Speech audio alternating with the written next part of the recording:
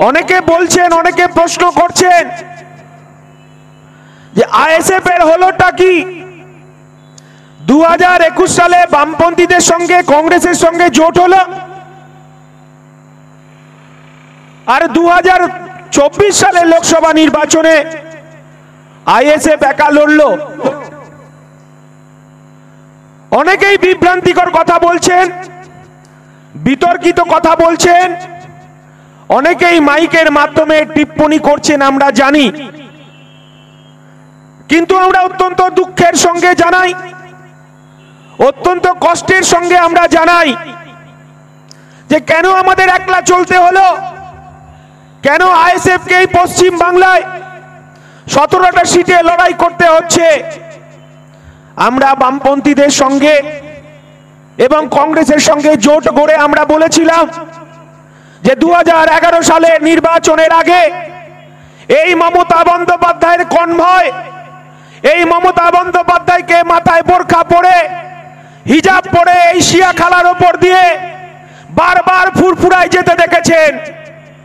এই ফুরফুরা এই শিয়া খালারা মানুষ মমতা বন্দ্যোপাধ্যায়কে ভরসা করেছিলেন, মমতা বন্দ্যোপাধ্যায়কে বিশ্বাস করেছিলেন, মমতা বন্দ্যোপাধ্যায় এই পুরপুরার মানুষকে, এই শিয়াখালার মানুষকে, এই শ্রীরামপুরের মানুষকে ধোকা দিয়েছেন। তিনি এই শিয়াখালার মানুষকে বলেছিলেন, তিনি রেল বিভিন্ন দিক থেকে রেল লাইনের সঙ্গে যুক্ত করবেন। তিনি কথা দিয়েছিলেন, আর এই বিজেপির সাংসদ কল্যাণ ব্যানার্জি, উনি তৃণমূলের সাংসদ নয়, উনি বিজেপির সাংসদ। কারণ এই চিয়াখালার মানুষ এই শ্রীরামপুরের মানুষ মমতা বন্দ্যোপাধ্যায়ের এই সংখ্যালঘু প্রেম, এই শিয়াখারা মানুষের প্রেম, এই ফুরফুরা মানুষের প্রেম দেখে তৃণমূল কংগ্রেসকে ভোট দিয়েছিলেন। এবং দু হাজার নয় সালের পর থেকে এই শ্রীরামপুরের মানুষ এই কল্যাণ বন্দ্যোপাধ্যায়কে ভোট দিয়েছেন। কারণ সাম্প্রদায়িক শক্তি বিজেপিকে রোখার জন্য মানুষ দুহাত ভরে শিয়াখালার মানুষ মমতা বন্দ্যোপাধ্যায়ের কথাকে বিশ্বাস করেছিল যে তারা স্বপ্ন দেখেছিল যে নতুন করে শিয়াখালার মানুষ, এই ফুরফুরার মানুষ তারা নতুন করে বাঁচবে। কারণ এই মমতা বন্দ্যোপাধ্যায় বলেছিলেন, এই চৌত্রিশ বছরের বামপন সরকার জগদ্দল পাথরের মতো এই শিয়াখালা ফুরফুরার কোনো উন্নয়ন করেনি। আমাকে একবার ভরসা করুন, আমাকে একবার বিশ্বাস করুন এই শিয়াখালার মানুষ তারা দুহাত ভরে মমতা বন্দ্যোপাধ্যায়কে ভোট দিয়েছিলেন। এই শিয়াখালার মানুষকে মমতা বন্দ্যোপাধ্যায় বলেছিলেন যে এই শ্রীরাম, এই জাঙ্গিপাড়ায় তিনি মাল্টি সুপার স্পেশালিটি হসপিটাল করবেন। তিনি বলেছিলেন, ডানকুনি থেকে একদিকে, ডানকুনি থেকে একদিকে তারকেশ্বর থেকে এই ফুরফুরাকে লেন লাইন, রেল লাইনের সঙ্গে যুক্ত করবেন। এই ফুরফুরাকে হেরিটেজ ঘোষণা করবেন। আর তিনি বলেছিলেন যে এখানে যে সমস্ত মাদ্রাসাগুলো আছে, মাদ্রাসাগুলোকে তিনি পুনর্নির্মাণ করবেন, নতুন মাদ্রাসা করবেন, তিনি বলেছিলেন আলিয়া বিশ্ববিদ্যালয় করবেন। কিন্তু তিনি যখন ভোট যখন ভোট মিটে গেল, তখন তিনি এই কল্যাণ বন্দ্যোপাধ্যায়, মমতা বন্দ্যোপাধ্যায় ফুরফুরা মানুষের সঙ্গে, এই শিয়াখালা মানুষের সঙ্গে বিশ্বাসঘাতকতা করেছেন। কারণ এই কল্যাণ বন্দ্যোপাধ্যায় এই শ্রীরামপুরের মানুষের কাছে কুরুচিকর কথা ছাড়া, নোংরা কথা ছাড়া তিনি পার্লামেন্টে শ্রীরামপুর মানুষের যন্ত্রণা, শ্রীরামপুর মানুষের ব্যথা, এই শ্রীরামপুর মানুষের একশো দিনের কাজের অধিকার, শ্রীরামপুর মানুষের জল জমি জঙ্গলের অধিকার, শ্রীরামপুরের ব্যবসাদারদের তাদের কষ্টের কথা এবং এই ফুরফুরা রেল লাইনের কথা, আদিবাসী দলিতদের উন্নয়নের কথা, বেকার যুবকদের কথা, তিনি যা যা প্রতিশ্রুতি দিয়েছিলেন, এই কল্যাণ বন্দ্যোপাধ্যায়, এই মমতা বন্দ্যোপাধ্যায় আর তার ভাইপো আর স্নেহাশিস বাবুদেরকে এই চাল চুরি, এই একশো দিনের কাজ চুরি, প্রধানমন্ত্রী আবাস যোজনার চুরি, হাইকোর্ট আর সুপ্রিম কোর্ট করতে করতে তিনি এই শ্রীরামপুর মানুষের অধিকারের কথা ভুলে গেছেন। আর আপনি বলছেন বিজেপির দালাল, বিজেপির কাছ থেকে টাকা খেয়েছেন। এই বাংলার মানুষ বুঝে গেছেন যে আপনি দু হাজার একুশ সালের নির্বাচনে আপনি বলেছিলেন যে নরেন্দ্র মোদীকে কোমরে দড়ি বেঁধে নিয়ে আসবেন। কিন্তু নির্বাচনের পর এই বাংলার মানুষ কি দেখল? আপনি যতবার দিল্লিতে গেছেন, ভাইপোকে বাঁচানোর নাম করে আর পশ্চিম বাংলার মানুষকে উন্নয়নের কথা বলে আপনি দিল্লিতে ছুটে গেছেন। আপনি আপনাকে দেখেনি, আপনার ঝোলা ব্যাগে দড়ি নিয়ে যেতে। কিন্তু এই পশ্চিম বাংলার মানুষ জানে, এত মাইকটা টানছে না, খুব কষ্ট হচ্ছে বলতে। এই পশ্চিম বাংলার মানুষ জানে যে মমতা বন্দ্যোপাধ্যায় যখন ইডি সিবিআই পশ্চিম বাংলায় বাড়াবাড়ি করেছে, মমতা বন্দ্যোপাধ্যায় রাতের অন্ধকারে তিনি ফ্লাইট চেপে দিল্লিতে চলে গেছে নরেন্দ্র মোদীর সঙ্গে বৈঠক করতে। হ্যাঁ একজন মুখ্যমন্ত্রী। একজন মুখ্যমন্ত্রী প্রধানমন্ত্রীর সঙ্গে যুক্তরাষ্ট্রীয় পরিকাঠামোয় তিনি মিটিং করতেই পারেন। কিন্তু আমরা যেটুকু জানি, যুক্তরাষ্ট্রীয় পরিকাঠামোয় যখন একজন প্রধানমন্ত্রী, একজন মুখ্যমন্ত্রী বৈঠক করেন তার সঙ্গে একজন আমলা থাকে, একজন আইএস অফিসার থাকে, একজন আইপিএস সচিব পর্যায়ের অফিসার থাকে পশ্চিম বাংলার মানুষ, ভারতবর্ষের মানুষ, মমতা বন্দ্যোপাধ্যায়ের সঙ্গে কোনো সচিব পর্যায়ের কোনো আমলাকে দেখতে পাইনি।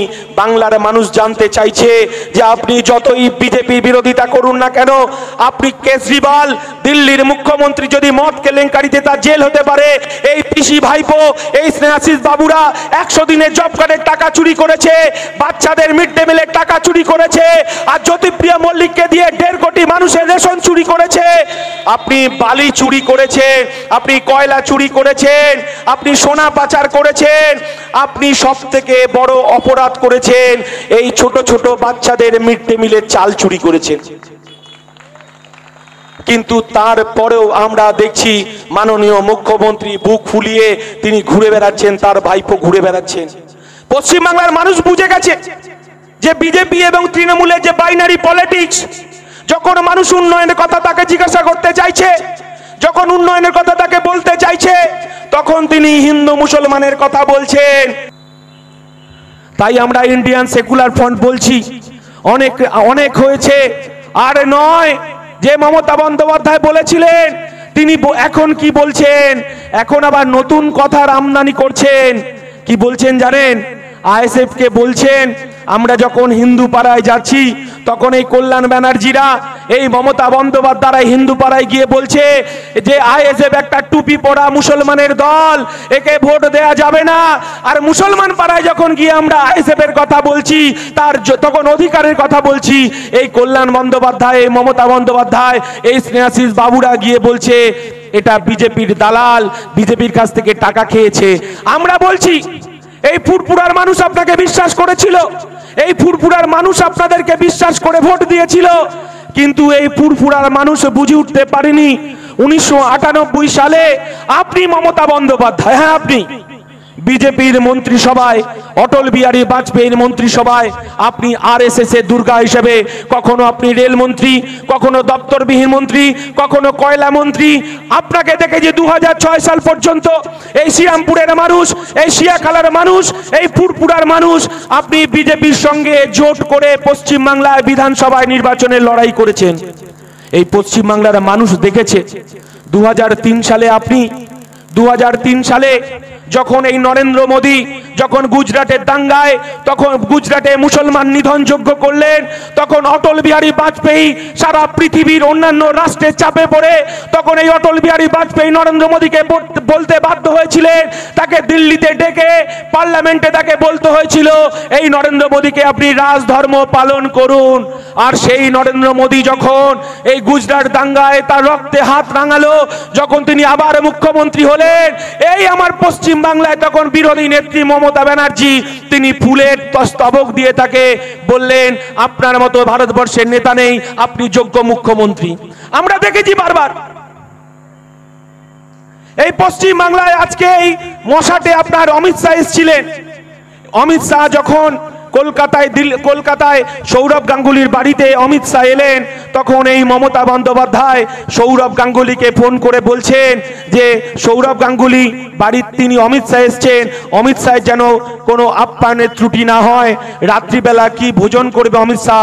মমতা বন্দ্যোপাধ্যায় সৌরভ গাঙ্গুলিকে ফোন করে বলে দিচ্ছেন যে, আমার মোটা ভাই এই এই খেতে পছন্দ করেন। আর সৌরভ তো খুব চালাক। সৌরভ মিডিয়াকে বলে দিয়েছে যে, মমতা বন্দ্যোপাধ্যায় আমাকে যা যা নির্দেশ দিয়েছেন, তাই তাই আমি মেনুর তালিকা তৈরি করেছি। এই মমতা বন্দ্যোপাধ্যায়, পশ্চিমবাংলার মানুষকে ঠকিয়েছেন, পশ্চিমবাংলার মানুষকে মিথ্যা প্রতিশ্রুতি দিয়েছেন, কারণ সর্বোপরি এই সিয়াখালার মানুষ, এই মশাটের মানুষ, এই এলাকার মানুষ, এই যখন আপনারা দেখেছেন, দুহাজার আঠারো সালের পঞ্চায়েত নির্বাচন দেখেছেন, তখন অবশ্য আইএসএফ ছিল না, মাইকটা খুব খারাপ, মাইকটা খুব খারাপ। দু হাজার আঠারো সালে পঞ্চায়েত নির্বাচনে এই শিয়াকালার মানুষ দেখেছে। মমতা বন্দ্যোপাধ্যায় বলেছিলেন যে এখানে একশো শতাংশ আমার আসন চাই, বিরোধীদের আমি নির্বাচিত করতে দেব না। মমতা বন্দ্যোপাধ্যায় বাবুরা সেদিনকে এখানে সন্ত্রাসের মধ্য দিয়ে দু হাজার আঠারো সালের পঞ্চায়েত নির্বাচন পঞ্চায়েতকে দখল করল। দু হাজার তেইশ সালে আবার এই শিয়াখালার মানুষ, এই শ্রীরামপুরের মানুষ, এই ফুরফুরার মানুষ দেখল যে আবার এই মমতা বন্দ্যোপাধ্যায়, এই স্নেহাশিস বাবুরা আবার তারা সন্ত্রাসের মধ্য দিয়ে, ব্যালট চুরির মধ্য দিয়ে এখানকার পুলিশ প্রশাসনকে সঙ্গে নিয়ে আবার সন্ত্রাসের বাতাবরণ তৈরি করে আবার পঞ্চায়েত দখল করল। কারণ এই তৃণমূল কংগ্রেস, এই শিয়াখালা মানুষের, গরিব খেটে খাওয়া মানুষের একশো দিনের জব কার্ডের টাকা চুরি করেছে। এখানকার গরিব খেটে খাওয়া শ্রমজীবী মানুষের, ছোট ছোট বাচ্চাদের মিড ডে মিলের চাল চুরি করেছে আমফানের ত্রিপল চুরি করেছে, তাই এশিয়া খেলার মানুষ আবার একটা পরিবর্তনের জন্য মুখিয়ে আছে। হ্যাঁ আমাদের কাছে জব কার্ডের চুরির টাকা নেই।